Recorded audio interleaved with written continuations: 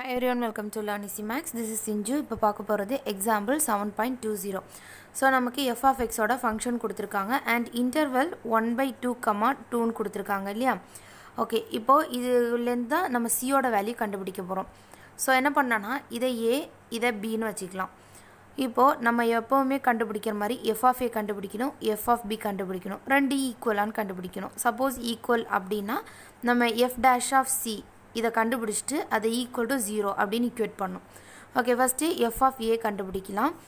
So F of A means F of one by two அதாவது இங்கே எங்கெல்லாம் X இருக்கோ அங்கெல்லாம் ஒன் பை டூ சப்ஸ்டியூட் பண்ணலாம். ஸோ என்ன வரும்? One by two plus one divided by எக்ஸுக்கு பதிலாக one by two okay one by two plus இது என்னாகும்? இது அப்படியே ரெசிப்ரோக்கல் எடுத்துடலாமா? ரெசிப்ரோக்கல் எடுத்தால் இங்கே தலைக்கீழே ஆகிடும் அதாவது ஆல்ரெடி இங்கே ஒன்று இருக்குது இன்டு ஒன் பை டூவை நம்ம மேலே எடுத்துகிட்டு போனால் டூ பை ஒன் அப்படின்னு ஆகிடும் ஸோ இது என்ன ஆகும் one by two plus one two is two இல்லையா so two two divided by ஒன்னுனா நமக்கு டூ தான் வரும். டேரெக்டாகவும் போட்டுக்கலாம். ஓகே அப்போ one by two plus two வந்திருக்கு. ஜஸ்ட் கிராஸ் மல்டிப்ளை பண்ணுங்கள் ஸோ டூ டூ ஜார் ஃபோர் இல்லையா? அப்போ ஆல்ரெடி இங்கே இருக்க ஒன் நடுவில் இருக்க ப்ளஸ் டூ டூ ஜார் ஃபோர் டிவைடட் பை கீழே டூ எல்சிஎம் எடுத்தாச்சு. ஸோ அதை அப்படியே போட்டுக்கோங்க. இப்போ அதை ஆட் பண்ணால் ஃபைவ் இல்லையா? ஸோ ஃபைவ் பை டூன்னு வந்திருக்கு. F of one by two same thing அடுத்தது எஃப் ஆஃப் பி கண்டுபிடிக்கணும். ஸோ எஃப் ஆஃப் பி கண்டுபிடிக்கணும்னா எஃப் ஆஃப் பியோட வேல்யூ நமக்கு இங்கே டூ இல்லையா? ஓகே இதை இப்போ அப்ளை பண்ணும்போது இங்கே எங்கெல்லாம் எக்ஸ் இருக்கோ அங்கெல்லாம் டூ அப்ளை பண்ணுங்கள் so two plus one by two இங்கே அதே மாதிரி க்ராஸ் மல்டிப்ளை பண்ணுங்கள் ஸோ டூ டூ சார் ஃபோர் இல்லையா? ஃபோர் ப்ளஸ் ஒன் எல்சிஎம் எடுத்தனால டிவைட் பை டூ அப்படியே போட்டுக்கலாம்.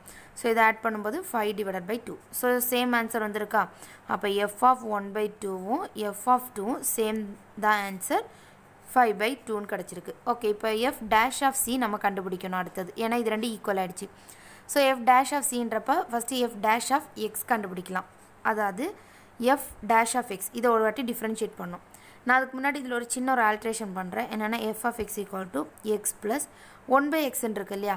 எக்ஸை நான் மேலே எடுத்துகிட்டு போனேன்னா அது எக்ஸ் பவர் மைனஸ் ஒன்றுன்னு ஆகிடும் அதாவது சும்மாவே இப்போது எக்ஸ் பவர் ஒன்று இருக்கிறது தான் அர்த்தம். நான் மேலே எடுத்துகிட்டு போகிறேன் அப்படின்னா அந்த பவரில் ஒரு மைனஸ் வந்துடும் ஸோ எக்ஸ் பவர் மைனஸ் ஒன்றுன்னு எழுதியிருக்கேன். இந்த ஒன் பை எக்ஸை ஓகே இப்போ நார்மலாக இதை டிஃப்ரென்ஷியேட் பண்ணலாம். அதாவது F dash of X so எக்ஸை டிஃப்ரென்ஷியேட் பண்ணால் நமக்கு value one plus X power minus ஒன்று பண்ணால் அதாவது எக்ஸ் பவர் என் அப்படி இருக்குன்னா N into X power N minus one இதான் ஃபார்முலா ஸோ இதில் அப்ளை பண்ணும்போது இங்கே என்ன இருக்குது எக்ஸ் பவர் மைனஸ் ஒன் இருக்குது எண்ணுக்கு பதிலாக மைனஸ் ஒன் போடுங்க. So minus one X power எண்ணுக்கு பதிலாக மைனஸ் ஒன் மைனஸ் ஒன் இங்கே இருக்க இந்த minus one so minus one X power minus ஒன்று மைனஸ் ஒன்று நமக்கு மைனஸ் டூ இல்லையா?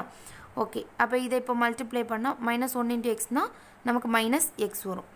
அப்போது இதில் மைனஸ் எக்ஸ் பவரில் மைனஸ் டூ இருக்குது ஓகே இங்கே நம்ம எப்படி நம்ம இந்த மாதிரி டிவைடில் இருந்ததை மேலே எடுத்துகிட்டு போனோம். சேம் திங் மேலே இருக்கிறத இப்போ கீழே எடுத்துகிட்டு போக போகிறோம் அதாவது ஒன் இங்கே ப்ளஸும் மைனஸும் மைனஸ் வந்துடும் அது அப்படியே இருக்கட்டும்.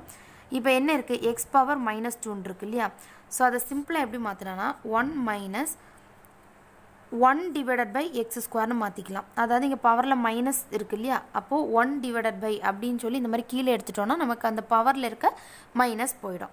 ஸோ இதுதான் இப்போ எஃப் டேஷ் ஆஃப் எக்ஸோட வேல்யூ இப்போ நமக்கு என்ன வேணும்? எஃப் டேஷ் ஆஃப் சி தான் வேணும். ஸோ அப்படின்னா எங்கெல்லாம் எக்ஸ் இருக்கோ அங்கெல்லாம் சி போட்டால் போதும். அப்போ one minus one divided by X ஸ்கொயருக்கு பதிலாக சி ஸ்கொயர் நெக்ஸ்ட் நம்ம என்ன? F dash of X F dash of சியை வந்துட்டு ஈக்குவல் டு ஜீரோ அப்படின்னு நம்ம ஈக்குவேட் பண்ணணும். அப்போ one minus one by C square equal to zero அப்படின்னு இக்குவேட் பண்ணும். ஸோ சிம்பிள் இனி இதை எல்சிஎம் எடுத்துக்கலாம்.